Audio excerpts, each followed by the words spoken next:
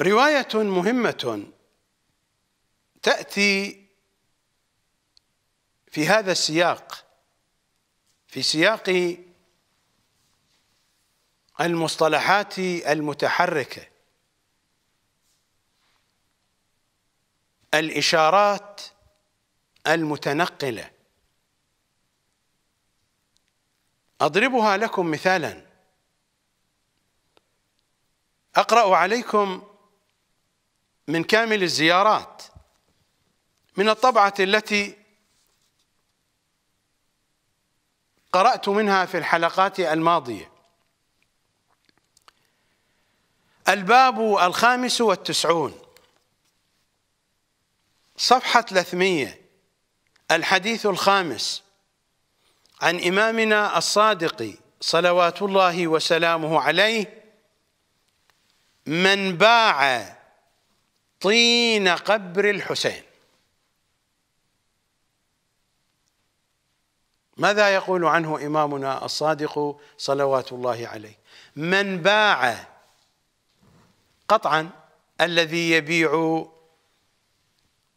طين قبر الحسين شيعي يعتقد بأهميته. لا أريد أن أقول يعتقد بقدسيته. يعتقد بأهميته وإنما يبيعه لشخص شيعي آخر. فهو ليس في مقام الإهانة لتربة قبر الحسين. من باع طين قبر الحسين فإنه يبيع لحم الحسين ويشتريه. كارثة كارثة. هذا كلام إمامنا الصادق صلوات الله وسلامه عليه. من باع طين قبر الحسين فإنه يبيع لحم الحسين ويشتريه. هذا رجل شيعي يأخذ ترابا من تراب قبر الحسين من تراب كربلاء. ويبيعه لشيعي آخر وذلك الشيعي يأخذه للانتفاع به. إما للتسبيح للصلاة عليه للاستشفاء به لأي غرض من الأغراض التي ترتبط بطين قبر الحسين. فالأغراض كثيرة متعددة. فهذا الشيعي البائع يبيع ترابا. وهو لا يستهين به. ويقدمه لشخص سينتفع منه. الإمام يقول من باع طين قبر الحسين فإنه يبيع لحم الحسين ويشتري. أية كارثة هذه؟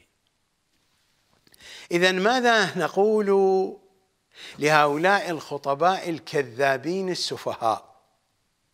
هؤلاء الذين ينقلون قذارات مراجعهم الأخبياء الناقضين لبيعة الغدير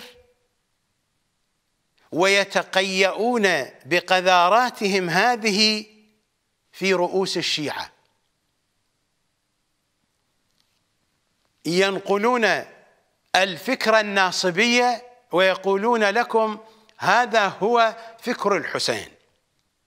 هؤلاء ينهشون لحم الحسين وأنتم معهم أيضا لأنكم تكثرون السواد في مجالسهم. وتدفعون الأموال إليهم. هؤلاء ينهشون لحم الحسين. إذا كان هذا يبيع ترابا. التراب لا يدخل إلى الرؤوس. العقائد هي التي تدخل إلى الرؤوس.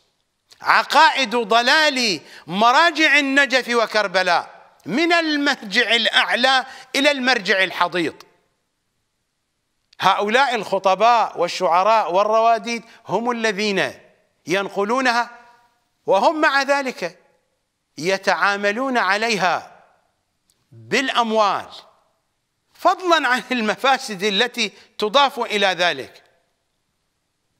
الآن بعض الرواديد صاروا مثل الكاولية بالضبط مثل الكاولية هم وشعراءهم كاولية كاولية. أنا لا أريد أن أنتقص من الكاولية كأناس لكن هذه التعابير تعابير معروفة في ثقافتنا الشعبية. يقصد منها جهة معينة. بعض الرواديد الآن كاولية كاولي. خصوصا ذولا اللي يحشرون المرجعية لمدحها بمناسبة ومن دون مناسبة. كاولي هذا هذا كاولي ما علاقته بالحسين. كاولي لأن المراجع إمامنا الصادق يصفهم بأنهم أضروا على الشيعة من جيش يزيد على الحسين بن علي وأصحابه. وهذه الأوصاف تنطبق بالتمام والكمال على مراجع النجف وكربلاء. من الأعلى فيهم إلى الأسفل منهم. الواقع يقول هذا. كتبهم عقائدهم فضائياتهم وكلاؤهم خطباؤهم كل الذي حولهم وكل الذي يصدر منهم.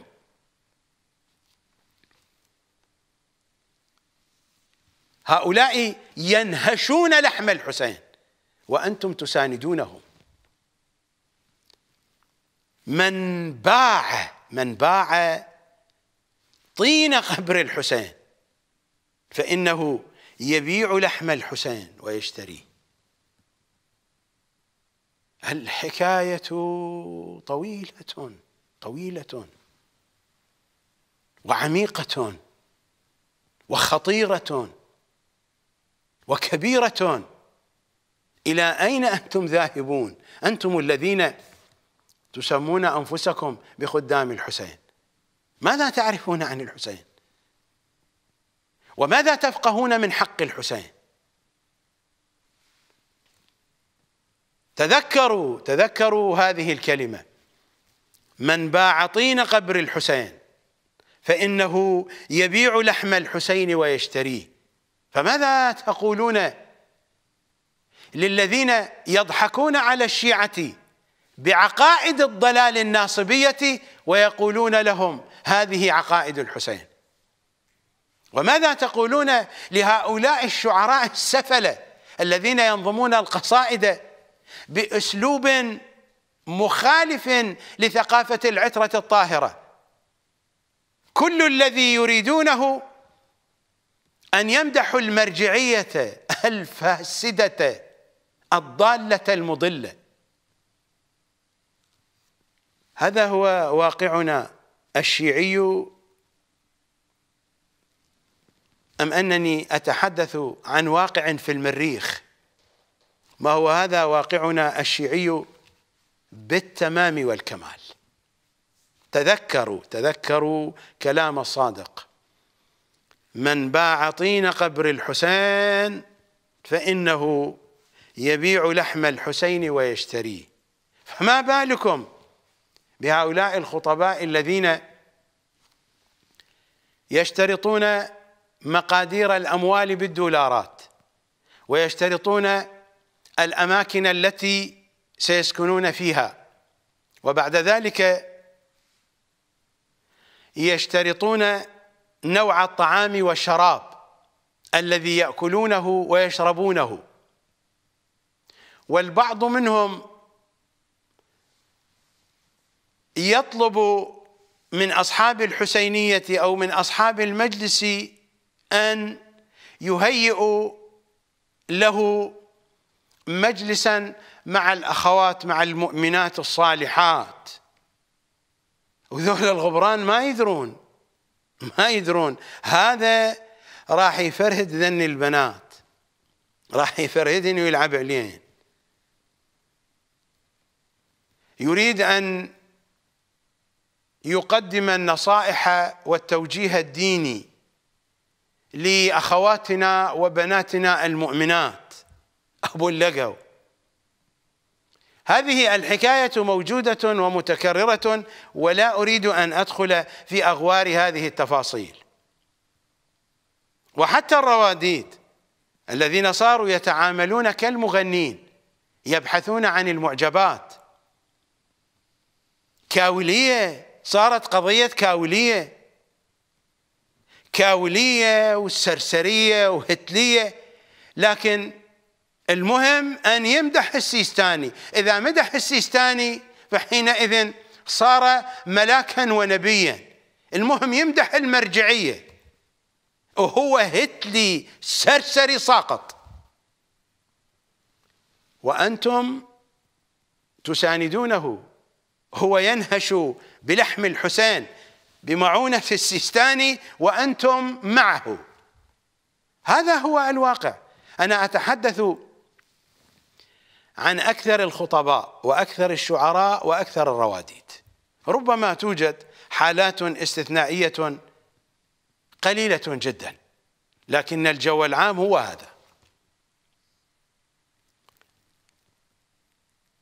نذهب إلى فاصل.